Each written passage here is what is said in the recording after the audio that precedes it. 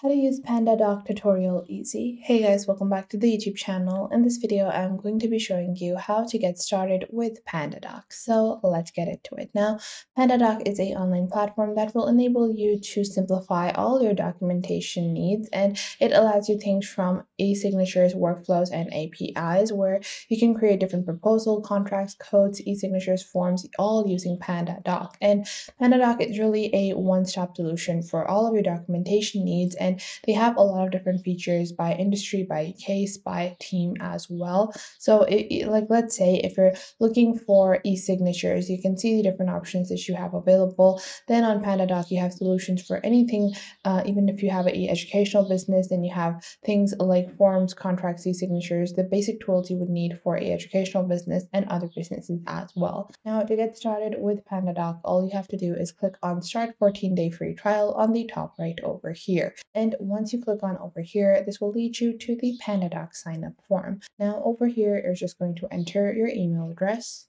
and once you have entered your email address, you're just going to enter a suitable password. And once you do that, you're just going to click on sign up over here. And we're just going to click on free e-sign plan, click on create, create free account over here if you don't want to sign in with your company name. So I'm just going to fill in this information and I'll get back to you guys in a second. And if you don't want to, uh, if you don't want to just enter all of this, you can also choose to sign up with Google or LinkedIn. So you have quite a few different options available and I'm just going to continue with my Google account. Uh, just to keep my sign up process simple, you can just sign up with any of your Gmail accounts. And we're just going to continue on over here to our PandaDoc application to get started with PandaDoc. Now you can see it's just taking a, a, few seconds to load up my PandaDoc dashboard over here. And you can see that you have your basic dashboard right over here. So on your left, you have a navigation panel where on the top, this is your dashboard. This is your basic dashboard. Then below that, you have your document section. So in your document section, you can add and create all of the documents that you have. Then below that, you have your shared, and in your document section, you have different filters like your trash filter,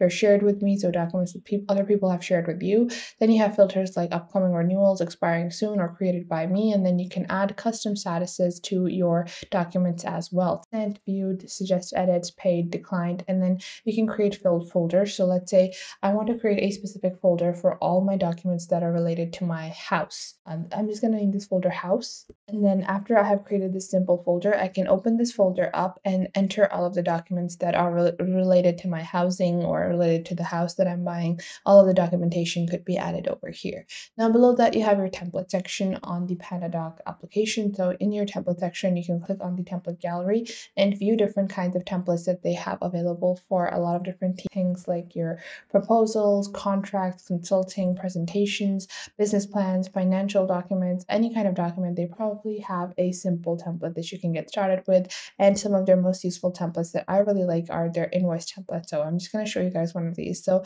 you can see this is a simple sales sales invoice template. There are quite a few different options available for invoice templates. You have real estate templates, you have receipts as well. So there are quite a few different options available for you to be able to have a good little documentation platform with PandaDoc. And you also have things like software, sales, tax template forms, and other forms as well. So you have tax form templates as well. So if you open those up, you can see you have a declaration of real purchase form available as well and you can just open up any of these templates to get started and you can create your own custom template as well. So let's say for your business, uh, you have a certain thing you like to sell in a certain way, then you can click on create over here and create your own custom template for your brand where you can add custom branding as well.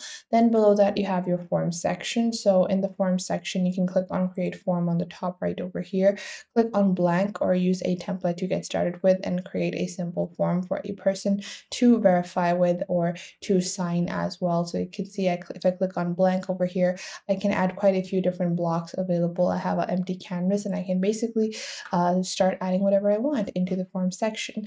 Below that, you have your content library so you can upload and save a lot of your content over here. Then you have a catalog below that. So in your catalog, you can start adding items, So let's say I have a certain item that has a certain price, I can add the catalog of products that I'm selling. So I am able to easily generate my invoices. This will really automate your entire invoicing process with PandaDoc. If you do this, you're really going to be able to easily sell items. So I'm just going to enter the information of a random item that I'm just going to think of. So you can see I've added a simple keychain as my product with a product SKU number as well with a fixed pricing method which is priced at $12 and the cost is $8. The reason that I added the cost is to be able to actually see that I am making a profit. This will enable you not only to be able to invoice and document your finances in a simple way where you can charge your customers the price, but you can also simply see what kind of profits you are generating. Now, below that, you have your contact section on the left. So in your contact section, you can add the frequently uh, used contacts, people that you are going to be contacting via these methods, people that you have to get e-signatures from, or people that you are dealing with, your vendors, suppliers, your customers. You can click on new contact on the top right over here and use your Zapier integration or your CRM tool. If you already have your contacts added over there, you can add them from there, or you can just enter these fields custom uh, one by one, or you can also import your Gmail contact contact. Below that, you have your reporting section, which is on the premium version of PandaDoc. Now, at the bottom, you have your inbox where you can communicate with fellow team members. Then you also have your settings, and then you have a store add-on as well. So if you click on store add-on, you will uh, you will have to enable SSO and you can add different CRM integrations and other things as well. And in your settings section, you have custom branding integration as well. So you can change the color of your overall workspace that you are working in uh, within PandaDoc. So if you want to customize overall experience, you can really do that over here as well. And if you go back onto your dashboard section, you can take a overview of all of your documents. So you can see uh, you will have all of the documents listed, how many documents you've sent, how many have been declined for approval, how many are completed, paid, or waiting payment. So just like that, you can get started with PandaDoc. If we go into the document section and we're going to click on create just to show you guys how to create a simple document, I'm going to open up a sample invoice. You're going to click on add one item. You're going to click on skip. So you can add other recipients to the doc as well and we're just going to open this up and you can see how the document is going to look like. So you can see this is a sample invoice and you can choose if this needs a signature. You can just click on this and click on assign as well to add a specific signature. If you want the signature of a specific person, you can add that. Or if it's just a general signature field, you can leave it empty as well. You can also add the date, checkbox, drop down, and contact collect files or card details as well. And you can also add your items over here. So let's say we have this so you can click on add to library and you can create a new item in the library or add existing library item. So you can click on add over here and then you can choose any one of these simple items that you have previously added. And that is how simple and easy it is to use PandaDoc. And the best part about PandaDoc is that it is available for free, where you have legally binding e-signatures, payments, and unlimited document uploads. Then it has the Essentials version starting at 19 USD per month per user,